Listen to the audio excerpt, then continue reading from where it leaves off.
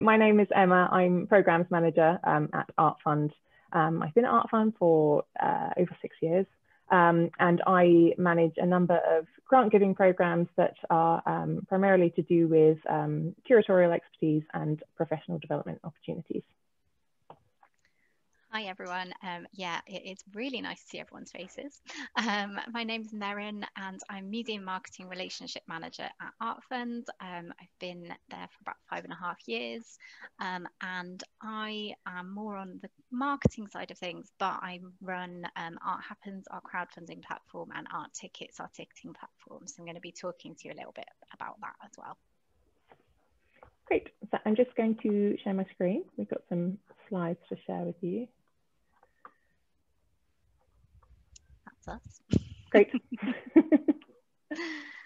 um, so I'm just going to begin with a little introduction to Art Fund and kind of who we are, um, just for anyone who doesn't know, and just a very brief intro because we're going to be talking in detail about um, our programs and and kind of how we can support museums. Um, so we are the national um, charity for art. We essentially exist to support museums. So we raise money to support museums. Um, and we do that in a variety of ways, which we're going to talk to you about today. Um, and we also have, you may be familiar with our National Art Pass. So we have um, 159,000 members who have a National Art Pass and they can use those, those National Art Pass cards to visit museums um, and, and kind of get benefits at our partner museums. Um, and the, they are kind of our primary um, way of funding our programs. So our members are really, really important to us in that the membership that they pay goes back into supporting museums and then they can kind of visit museums and kind of see the art and the exhibitions and the amazing things that you guys do um, with their National Art Pass. Um, so I'm going to hand over to Emma, who's going to talk through our programs and kind of some of the funding things that we've kind of got live at the moment. Um, and then I will be talking to you about Art Happens, Art Tickets, and our kind of marketing support and how we can help you reach our members as well. Thanks, Merrin. Um, so we are a funder, as we've as we've said, but our support for the sector goes beyond just grant giving. And um, to kick off, we wanted to share what our priorities have been um, over the last year and will continue to be for, for um, the remainder of 2021. So firstly, responding to the crisis. Um, when the pandemic forced museums to close last year, we wanted to respond swiftly to provide support where it was most needed. Um, and in June last year, we launched the Respond and Reimagine grants, which supported museums in um, planning vital activity to continue connecting with um, their audiences and to prepare for reopening. So we gave over £2 million um, through these grants. Um, and we also offered support to the um, Museum Development UK network, um, which uh, enabled different museum development networks to offer recovery grants um, in their region. So some of you might be familiar with that. In 2021, we remain committed to um, helping increase stability in the sector, um, and we recently launched the Reimagine grants, which I will be talking about later. We also want to offer practical help. Um, so acknowledging that reopening and implementing social distancing measures has been challenging for a lot of museums. Um, we've expanded our art tickets um, system, which Merrin is going to talk about later, so I won't spoil it. Um, but we, uh, we now help hundreds of museums um, uh, deliver time ticketing. And we also help museums fundraise, recognizing that for a lot of museums, especially those that don't receive any public funding, um, fundraising has never been more important. Um, so we have a crowdfunding platform which helps connect museums with um, generous supporters, allowing them to raise money for uh, exciting art projects. Again, Merrin will be talking about that later. Um, we also want to celebrate museums. We want to advocate for, for museums that acknowledge the positive impact that they have on our communities. Um, so last year, in, in a, a, year where good news was really hard to come by, we were uh, determined to celebrate the amazing work that museums were doing through our Museum of the Year prize, um, which last year awarded five winning museums, um, including the Towner in Eastbourne. Um, we've just closed for applications for 2021, so it remains to be seen who will be on our shortlist. Um, we want to help shape inspiring collections. Um, we know that museums are facing a lot of financial hardship and really difficult budget decisions, and we are keen to ensure that collections can still continue to grow and develop. Supporting acquisitions has always been a, a core part of our work, and last year we helped over 70 organisations acquire more than 240 objects and um, works of art. And we also want to empower museum professionals. Um, over the last year, we've remained committed to supporting and developing the careers of curators and museum professionals at a time when uh, a lot of you have been um, furloughed and feeling quite isolated. We have supported networks to um, continue offering opportunities to, to get people together virtually through webinars, workshops, training sessions, and so on. Um, and we have continued to offer funding to support professional development and curatorial research. So that's a sort of really brief overview of what our priorities um, have been over the last year and what they continue to be um, for throughout 2021. So what we'd like to do today is, as Merrin says, introduce all of our programs that are open for applications right now so that you know what um, the opportunities are that are available to you. We've got um, fairly limited time, so I'm going to be going through each one quite briefly just to sort of give an overview. Um, but we do have time at the end for questions, so do pop them in the chat if you've got any um, as we as we go along.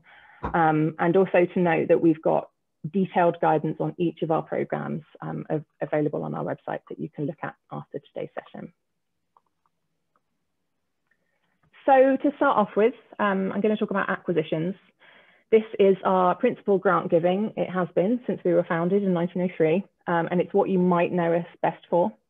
Uh, we've got a budget of between four and five million a year to support museums and galleries to acquire um, objects. So we can support um, the purchase of works of art and other objects of artistic interest, um, dating from antiquity to, to the present day. And we also support commissions of new artworks. So there are three types of acquisitions applications, large, small, and time critical. Um, each one of them have uh, sort of different funding levels involved and um, slightly different processes. So just to run through them quickly. Firstly, um, small grants. These are works where um, the total cost of the work is uh, £15,000 or under, and where you're coming to us for £7,500 or less. And we generally can turn those applications around within eight weeks. Uh, large grants are for um, requests above that level, so works that cost more than £15,000 and where you're coming to us for more than £7,500. Those are considered at board meetings five times a year, so there are deadlines associated. Um, today is one of those deadlines, um, but it's not very helpful to let you know that. The next deadline is the 15th of September, um, and that's for a meeting happening in October. Um, and also auctions, if, if work if works come up at auctions, we can turn around applications quite quickly. Um, we, I, we ask that ideally we'd have an application from you um, at least 10 working days before um, the auction takes place.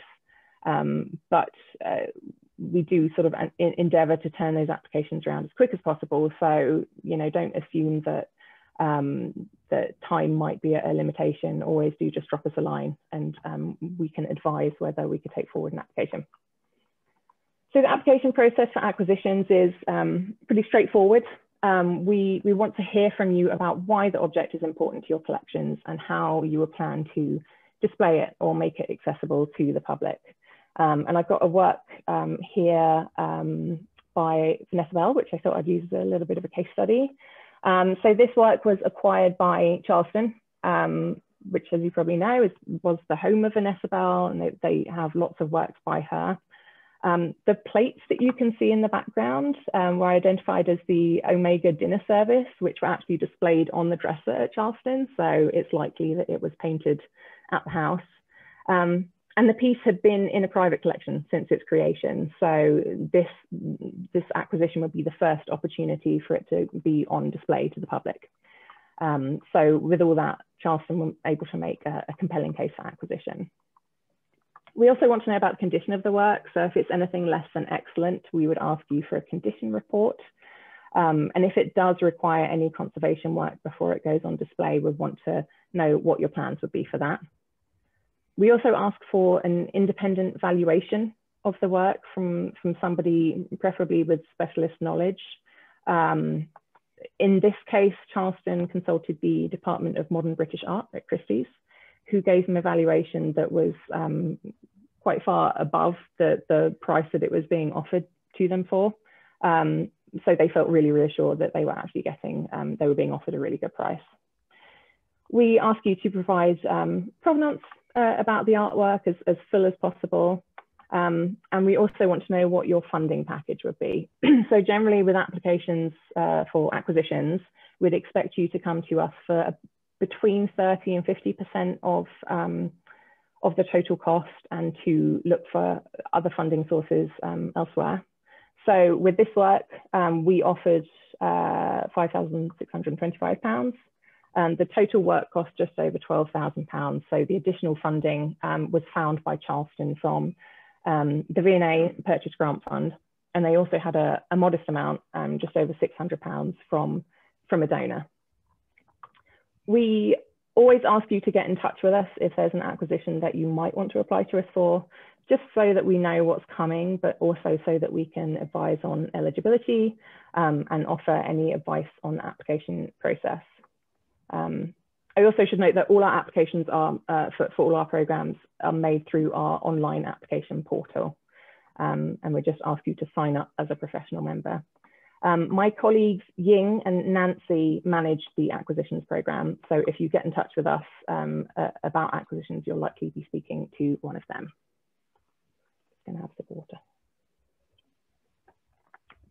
Great. Um, so next up, I wanted to talk about the Weston Loan Program um, which provides funding for regional museums and galleries to borrow works from national collections um, to encourage the sharing of works more widely across the UK. And through the programme, we want to help regional museums loan and display objects to um, bring additional context to their own collections and to uh, sort of help engage um, new audiences. It's designed to help museums develop new or stronger relationships with, um, with major lending institutions um, and to increase their infrastructure, capacity and confidence in delivering loan exhibitions. So we offer grants between £5,000 and £25,000, which can support 100% of the practical costs involved with loaning objects. So this can include um, security reviews, insurance, transportation, conservation, new display cases, um, gallery invigilation. Um, and the funding is also intended to help you maximize the impact of the loan. So it uh, can include marketing and promotional costs, um, which can include freelancers or consultants if you don't have a dedicated post in-house. Um, you can use it to support um, refreshing displays and labeling, offering digital activity, community engagement, um, and lots more. So as an example of what we support, um, last year we offered Weston Loan funding to Hastings Museum uh, and Gallery uh, to borrow this cross here, the Lampedusa cross from the British Museum. This cross is made from the remnants of a wrecked refugee boat and it's going to be exhibited alongside works from Syrian-born artists um, in a show that has been co-curated by local migrant and refugee groups in Hastings to um, explore the refugee experience.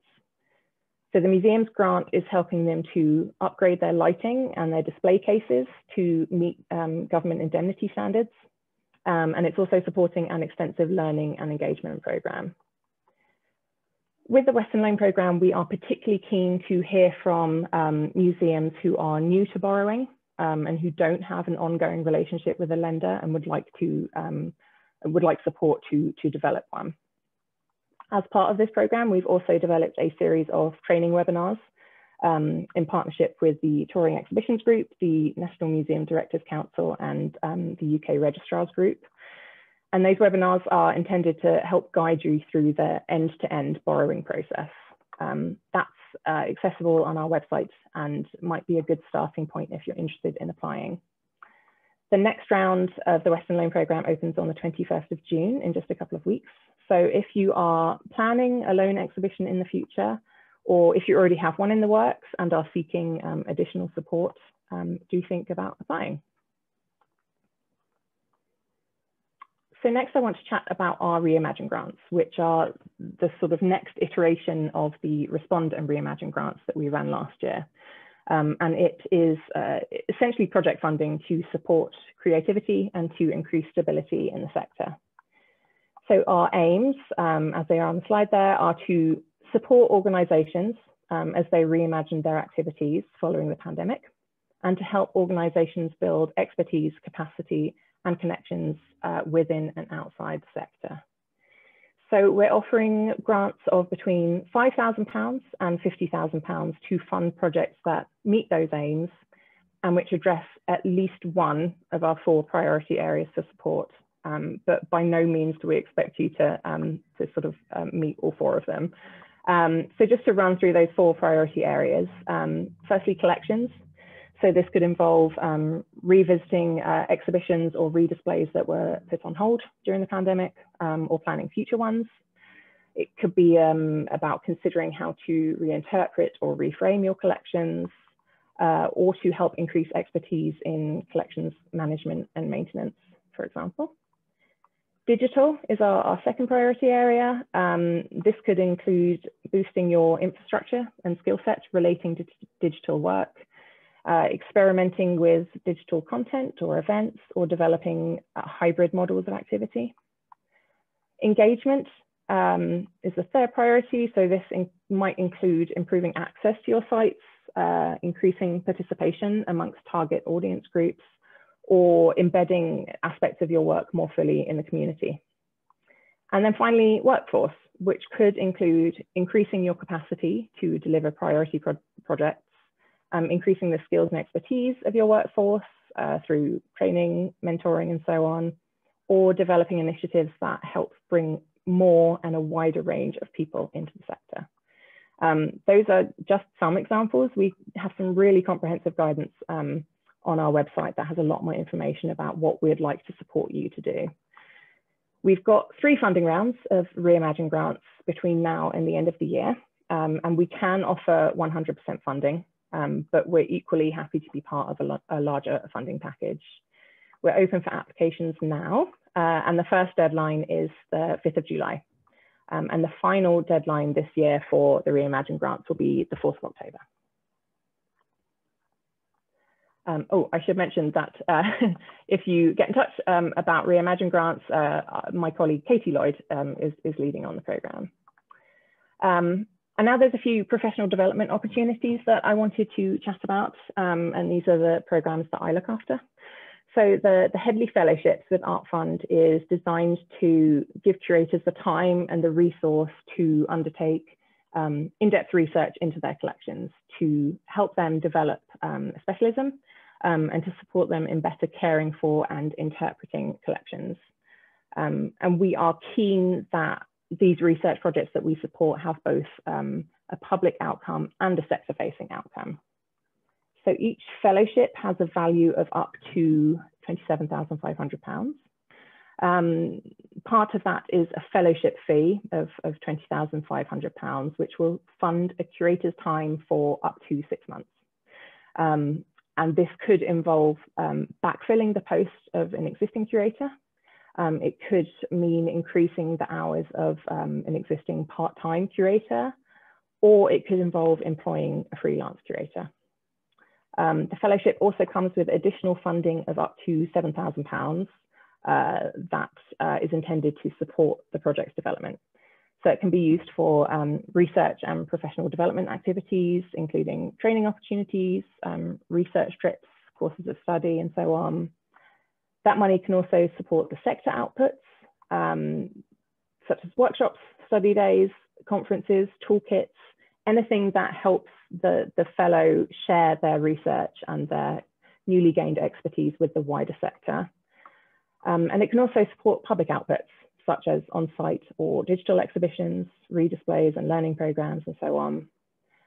The Headley Fellowships are open to curators working with all kinds of collections, not just um, not just art. Um, and we are keen to boost specialist expertise in regional collections specifically. So we welcome applications from um, curators based at local authority and independent museums um, and those operating outside London. Um, pictured uh, on the slide is Adam Smith, who's one of our fellows. He's curator of natural sciences at the Nottingham, Mu Nottingham Museum of Natural History, um, which holds a, a, really extensive and significant botany collection. So his fellowship enabled him to increase his understanding of this collection, um, to improve collections care, um, as well as his knowledge of how to display and interpret those collections. Um, and as a result, there are specimens um, from the collection uh, included across all areas of the museum's recent redisplay, um, including biodiversity and climate change. Um, and they have gone from having seven specimens on display to over 500. Um, I might be biased, but I think that the, the fellowships are a really great opportunity. Um, we've got 11 fellowships available to offer this year. Um, applications are open now. The deadline is the 30th of July. And if you are interested, um, please do get in touch with me. Uh, we also have the Jonathan Ruffer curatorial grants. Um, and I did uh, actually notice um, somebody who's attending today, um, Naomi, I think has been a recipient of these before, which is great. Um, so the program supports UK museum professionals who want to develop their curatorial expertise um, and their um, collections-based knowledge and who are seeking professional development opportunities. So this could be undertaking research trips, um, visiting exhibitions, attending conferences and workshops and so on. We've got £75,000 available uh, a year through the programme and um, on average we support between 60 and 70 museum professionals each year. The grants range from um, £200 to several thousand pounds for a, a, longer term research project. And again, we will consider 100% funding. Um, we can fund the practical costs of research. So you might consider applying for national or international travel, um, you know, when we can do that safely, um, and accommodation and associated costs, um, training courses and programs of study, even books and journal subscriptions to add to your museum's resources. Um, this is another program that's not limited to those working with fine and decorative art collections. Um, so long as you can sort of demonstrate a benefit to your collections knowledge or to the, the organizations and the audience, the, your organization and the audiences you work with, we're, we're happy to, to hear from you. Um, and to note, particularly with the smaller grants, we don't necessarily expect there to be a material outcome um, to your project. So we're not always expecting that your activities might lead to, you know, an exhibition or other programming. Individuals can apply to the Ruffer program up to twice in one year, and there's no limit at organizational level. So if a colleague has applied previously, that doesn't have any impact on your applying to us. Um, Small grants are um, offered on a, a rolling basis. Um, large grants, which are requests of £2,000 or more, um, have to be considered at, at, committee meetings, which take place twice a year. So they do have deadlines associated with them. Um, and uh, again, this is a program that I manage. If you uh, would like to um, discuss a project um, that you'd like to undertake, um, do just get in touch. And then finally, I wanted to talk about um, student opportunities, which is a, a, more recent program that helps bring together museums and galleries with our network of over 23,000 student members um, that we've been building over the last few years. So museums and galleries can apply for grants of up to £10,000, which can support them in engaging students to help them deliver projects. So the funding goes towards paying the students for their time um, which offers them um, meaningful work experience and the opportunity to um, explore career opportunities in the arts. Um, and the museum also benefits, obviously, in a number of ways. So they um, have the opportunity to uh, develop a wider and more diverse range of voices within their organization. Um, and they'll also have support from us with audience insights on how to shape the marketing of their opportunity to appeal to young audiences. Um, and through the program, museums can build their knowledge of how to effectively engage with students um, by working directly with students. Um, one of our recent successful applications came from the Scottish National Maritime Museum. They will be offering three paid opportunities for students to be involved with an upcoming exhibition. And the students will receive um, training in object handling. They'll be a part of the exhibition installation and they will also support the planning um, delivery and evaluation of two event days. Um, so this is a really great program that is mutually beneficial for both the museum and the students. Um, the program is looked after by my colleague Rob Dingle. Applications are open now and they are considered on a rolling basis, so there are no deadlines associated with that. So that's ooh, been a really brief run through of all our current programs. um, as I mentioned at the beginning, um, all our programs have in-depth guidance documents that um, provide you a lot more information about eligibility, about what we'll support, and also what to expect from the application form. Um, but now I'm going to hand over to Merrin to talk about the other support that we offer. Thanks, Emma. Um, so, as I mentioned earlier, we we also have um, some digital platforms, and as well as kind of funding opportunities, we can really help you to kind of reach and engage new audiences um, with our marketing support and also with our two digital platforms, Art Happens and Art Tickets. Um, so I've seen there's a couple of names on here that are familiar in terms of what happens. So hi to. Um, and sorry for repeating everything you already know.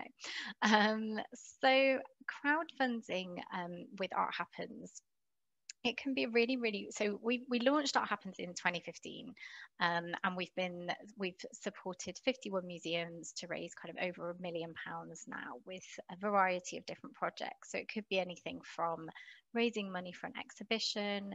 Um, it might be the last part of a kind of capital project where perhaps you need to kind of kit out a space or there's something really specific that you need to raise money for as part of a, a larger project. So there's there's been a huge variety of, of projects and I think the, the last year we've really seen um, a, a kind of greater need for developing the ways that we're fundraising and the way that we're kind of talking to donor audiences. Um, back in October, we helped uh, Charleston raise £160,000 through Art Happens to help them to stay open and to be able to kind of reopen this spring with um, a really strong kind of program of events. Um, and I think as well in the, I think Art Happens has always been a really great way to kind of reach a new donor audience, engage people on a kind of different level in terms of fundraising. But I think with the last year, we've really seen that we've kind of had to engage people digitally in a whole different way. It's kind of been our only cultural outlet. And so I think now Art Happens in crowdfunding is a really great way to kind of really tap into that and to make, you know, carry on that hard work that you've all been doing with um, engaging digital audiences and kind of turning them into donors and, and kind of engaging them on a different level. So just a little bit about Art Happens. So it is a rewards-based crowdfunding platform. It's completely free to use. So we support the costs of you kind of running your campaign. Um, and what that means is that we would cover the cost of your campaign film. So we'd work with you to kind of create a really great two minute film, just kind of making your ask and, and kind of telling people about your project. We also cover the cost of creating um, some really great rewards. So they're kind of incentives for people to give. Um, so we would cover the cost of producing them and also fulfilling them. So we can help you with kind of literally the, the kind of sending out of rewards after your campaign has hopefully been successful. Um, but not only that, but you would also have access to uh, free workshops, one-to-one advice with the Art Happens team, um, and a kind of variety of toolkits and resources to help you run a successful campaign. So we would work quite closely with you to kind of help guide you through what how to run a successful crowdfunding campaign because it is quite different from um, other sort of fundraising um, appeals, or it's, it's kind of a bit of a mix between fundraising appeal and marketing. Um, it's not only a really great way to raise money, but it also, as I mentioned, kind of helps you to reach a new donor audience. And I suppose what I mean by that is it's not necessarily kind of reaching um, you know those those really big givers although sometimes we we do and that's really great when that happens. But it's really more about engaging people who already love your organization your visitors people who have followed you on social media people who have been engaging with you kind of online over the last year um, and kind of turning them into supporters um, and kind of engaging them on a different level. So it's really about kind of engaging those lower level um, donors and and people who perhaps don't see themselves as philanthropic, um, making them feel like they can really make a difference with a fiver and get involved in um, whatever amazing project it is that, that you're kind of trying to make happen. Because also not only will they want to support it but they're going to want to come. And if it's um, for example an exhibition you're putting a really great exhibition on they give five pound they're really happy to kind of help you make this happen. And then they're really going to want to come and see it they're going to want to talk about it and then they just feel far more involved with your organization. So it's a really great way to do that. Um, and of course, it also kind of raises the profile of your organization in general. So it can be a really great way to kind of get press and kind of break through some of those um, stories in press and kind of get some some attention there um, and also raise the profile of you as a charity and kind of the work that you're doing as well. I think sometimes we've run campaigns for exhibitions and there've maybe been a few questions about why as a museum or a gallery you're kind of raising money for an exhibition. But we know that's the reality of, of kind of you know these things don't happen for free. We have to fundraise to put exhibitions on and they cost quite a lot of money. So actually it's a really great way to kind of talk to people about that and, and raise awareness of the reality of kind of what it costs for people to be able to come and experience these these amazing things that you're doing. Um, so I um, I run Art Happens. Um, so if you were interested in in doing crowdfunding and kind of running an Art Happens campaign, you'd be getting in touch with me. Um, and then just moving on to our kind of next digital platform, so Art Tickets, which Emma mentioned at the beginning. Um, so Art Tickets was originally actually launched in 2018 after kind of two years of research and development. We saw that there was a gap in the market for a ticketing platform that really actually works for museums. Um, having previously worked in a small museum, um, actually in the southeast, I feel the pain. um, I remember we were kind of working with a system that we kind of had to make it work for us. And it was, there were lots of different things going on. It was like, oh, if somebody books over the phone, we follow this system. If somebody comes to the front desk, we do this. And if someone books online, we're doing it that. And you're always trying to amalgamate lists and check capacity for events and things like that.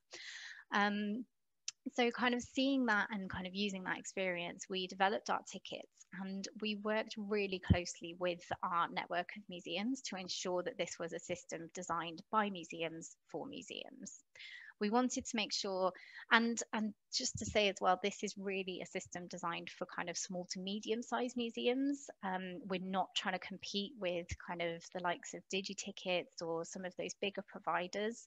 Um, we wanted to make sure that it suits the needs of museums who don't have the resource or the budget to be able to use those systems and perhaps don't have any ticketing um, or didn't have any ticketing um, capability um, a few years ago. Obviously, we're now in a completely different position where everybody kind of has a need for ticketing because we need to now think about kind of visitor flow and timed entry.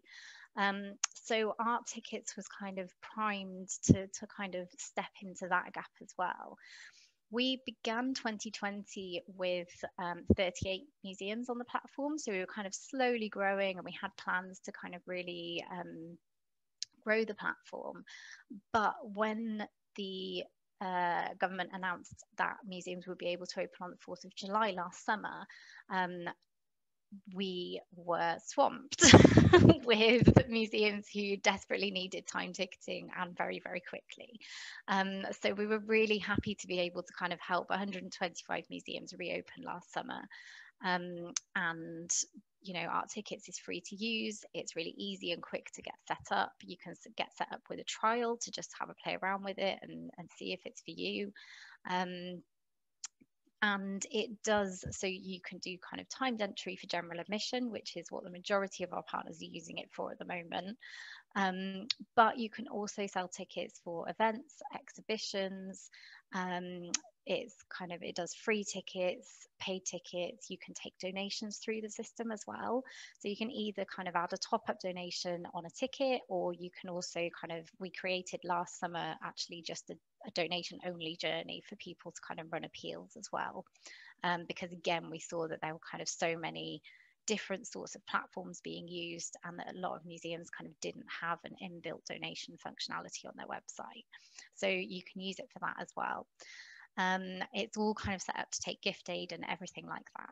So rounding that up, it's a really easy kind of free to use system. Um, and if you want any more information on that, or if you want to kind of sign up for a trial, um, I've got our museum's email at the end of this um, presentation. Um, it's usually, so I manage our tickets, but as it's grown, we now have 185 museums on the platform. So there's kind of a team of us. Um, so you'd most likely be speaking to my colleague Ed um, in the first instance, um, and he's really kind of on the front lines, um, helping museums with kind of getting onboarded on our tickets, and also will be there to kind of help you with setting up your tickets, or if you've got any questions um, at all. In kind of what, what we're finding at the moment is that it's really for a lot of museums, it's really the first time that they've had to think about ticketing because perhaps they're free entry and they've not really had to think about admission ticketing before. And so we're really finding that we're supporting a lot of people with literally kind of how do we do this? How how do we think about capacity and visitor flow and how should we set this ticket up? Um, so we can we can help with that as well. Um, and in addition to that, we we also it's also a really great way to kind of start getting um, some data as well. Um, sorry. So Emma, if you can move to the next slide, sorry. Um, we also have a dashboard. So there's an analytics dashboard, so you can see really easily um, where people are buying for it um, from. Sorry, so it gives you some postcode data. Um, it tells you kind of the times people are buying, so you can kind of get a sense of kind of what time people are kind of looking to buy tickets, which can help to inform your marketing um, of ticketing so kind of when to sort of push it out on social media and things like that what's a popular time that people are, are sort of thinking about booking ahead. Um, and it also allows you to get opt-in data. So when people are booking their ticket to visit you can also ask them if they want to hear from you um, and sign up to your kind of e-coms. So it's a really great way to kind of start getting a picture of kind of who is visiting. And I think even if you are um, a free entry museum, um, obviously having the time ticketing is put us in a completely new position where we can start actually getting some of this data and, and really looking and finding out who is visiting us, where they're coming from, um, what they want to see, and, and kind of how often people are coming as well. So you've got some real kind of hard figures to be able to use in kind of funding applications and to just um, annual marketing um, as well to, to really know who your audience are. And the analytics dashboard is just the beginning. So in 2021, we are going to be partnering with the audience agency. Um, thanks, Emma. Seamlessly onto the next slide. Um, so we really want to make sure that Art Tickets isn't just a kind of stopgap for when we need to think about um, time ticketing. And we want to make sure that we develop the platform to ensure that it's really helpful and useful to um, our partners and to museums. And partnering with the audience agency is kind of the next step in that. So you've already kind of got your, your analytics dashboard, which gives, gives you a little starter. But this is going to give you um, far more insight into kind of who your audiences are. This is going to be completely free to use. Um, so you can, if you're using Art Tickets, you can sign up to Audience Finder, or you might already be familiar with that and using that. Um, and it's just going to mean that you've got access to kind of wider data sources. It's going to help you to develop um, business objectives um, and just really give you a solid audience understanding. So we're going to be launching that kind of later in the year. So if you, I don't know if anyone is using Art Tickets, I was kind of having a look at, through at some of the names. Um, but if you are, keep an eye out for that. Um, and if you're interested in that, then um, do get in touch and chat to us about Art Tickets. Um, and then I can't remember what my next slide is. Um, so, as well as all of that, we can also help you to reach new audiences. So, as Emma mentioned earlier, kind of one of our main aims um, as an organisation is really that we are a huge advocate for museums. Um, and we really want to help more people see more art. So, one of the ways we can do that is um, by promoting your organizations to our audiences. So we've got 159,000 members. They love visiting museums. That's why they've got a National Art Pass. Um, and we can support you by promoting your venue to them. Um, so your events, your exhibitions, um, your venue, kind of everything that you're doing, we want to tell our members about that so that we can encourage them to come and visit, use their National Art Pass, and it's all a lovely circle because all the money raised from memberships kind of goes back into supporting museums um, and funding our programs and keeping things like art tickets and art happens free. It also means that we do have a really strong audience for things like Art Happens. Um, and, and, you know, when you're using art tickets, you can just submit your events to artfund.org as well. So it's really easy for us to kind of promote your events. Um, and our marketing support essentially includes promotion in our printed publication, the Art Map, um, which is pictured here lovely. Um, and also kind of across our digital channels, so our social media, our e-newsletters on our website. And across those channels, we've kind of got a much wider reach than just our members. Um, we have a lot of people who kind of follow us or sign up to our e-newsletter who just want to hear about kind of what's on and see us as a good source to, to see where to go if they're visiting a certain town or what what great exhibitions are on at the moment. Um, we're always working to kind of inspire more visits. Um, so from things like the art map um, through to um, we're always kind of creating new content like our podcasts. So we've got a Meet Me at the Museum podcast. Um, we did a new podcast last year called Art and Stuff, which was really focusing on collections at a time when people kind of couldn't really visit museums. Um, and we've also just launched um, a new film series called Art Pass Recommends. So we're kind of working with partners to create um, really beautiful films um, that show off their collections and their venue um, to really try and get people back into museums um, and feel confident and excited about kind of getting back into culture and visiting exhibitions and, and kind of just helping to increase footfall at a really, really difficult time. Um, so that is, sorry, I think we've overrun a little bit so much to say. Um, but thank you for listening to us. Um, and that was quite a lot of information. Um, but as Emma said, everything is on our website. But if you want to get in touch to talk about any of these things, um, Museums at artfund.org is the best email for any marketing opportunities, art happens or art tickets, and programs at Artfund um, for any funding opportunities. But if you email any of us or any of those emails, will help you. um, and you can also sign up to our museum bulletin for kind of regular updates about um, funding deadlines and new programs as well. So thank you, everybody. Um, I think there is one question actually in the chat. Or oh, two questions. There might be a few, yeah. yeah. Shall I do the? I'll do the art tickets one first. Um, so Shane's asked if um, art tickets can do membership and friends scheme subscriptions as well as one-off recurring donations. Um, so at the moment, no. Although some museums are using it successfully um, for memberships, and the way that they're doing that is they're setting up a ticket.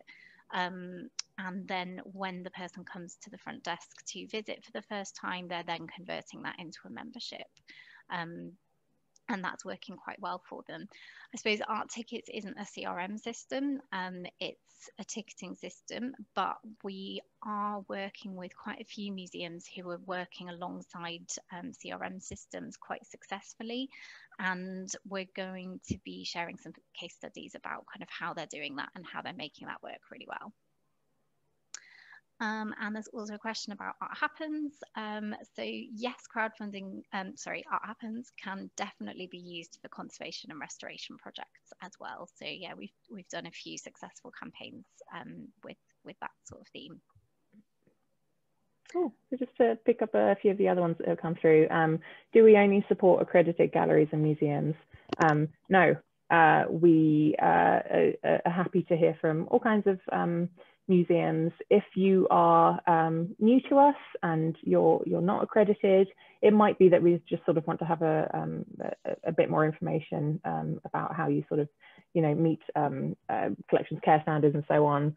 Um, but uh, generally, no, we are really open. Um, let's see what else has come through. Uh, with Headley Fellowships, is this only available for curators? Um, thinking that if a director wanted to curate a show, might they be eligible to apply?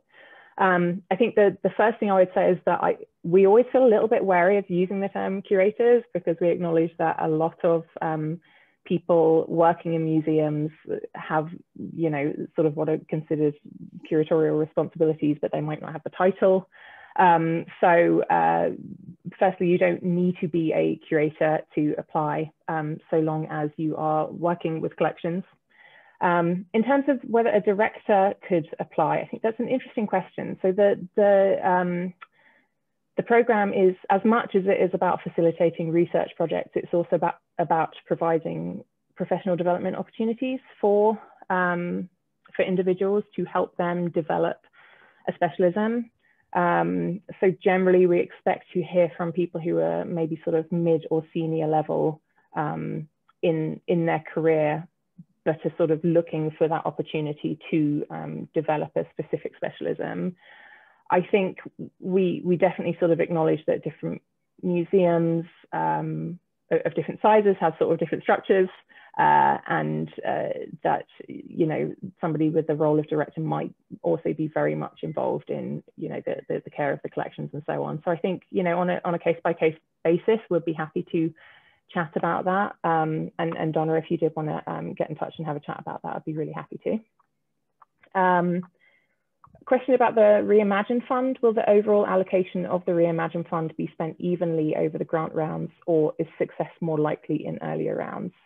Um, we are planning to spread it evenly over the three rounds. Um, we're sort of acknowledging that at the moment, museums are really busy um, reopening um, and that they might not be able to, to sort of meet that first deadline.